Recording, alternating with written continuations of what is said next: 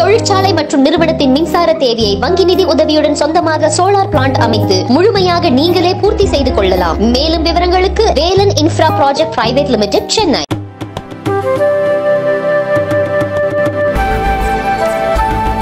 Jammu Kashmir மாநிலம் அமர்நாத் கோவிலில் ஆண்டுதோறும் பனிலிங்கத்தை தரிசிக்க பக்தர்களுக்கு அனுமதி வழங்கப்படும். ஜூலை ஒன்றாம் தேதி தொடங்கிய இந்த யாத்திரையில் இதுவரை இரண்டு லட்சத்திற்கும் அதிகமான பக்தர்கள் தரிசனம் மேற்கொண்டனர். தெற்கு காஷ்மீர் பகுதியில் இருக்கும் இமயமலையில் உள்ள மூவாயிரத்து எண்ணூற்று எண்பத்தி எட்டு மீட்டர் உயரமுள்ள குகை கோவிலுக்கு அறுபத்தி இரண்டு நாட்கள் நடைபெறும் இந்த யாத்திரை அனந்த்நாக் மாவட்டத்தில் உள்ள பெஹல்காம் மற்றும் கந்தர்பால் மாவட்டத்தில் உள்ள பால்டால் ஆகிய இரட்டை பாதைகளின் வழியாக நடத்தப்படுகிறது.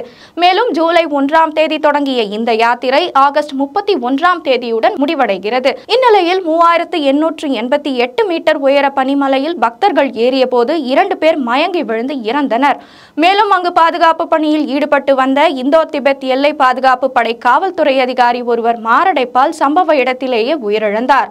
இதனால் இந்த ஆண்டு அமர்நாத் யாத்திரை சென்றபோது பலியான பக்தர்களின் எண்ணிக்கை முப்பதாக உயர்ந்துள்ளது.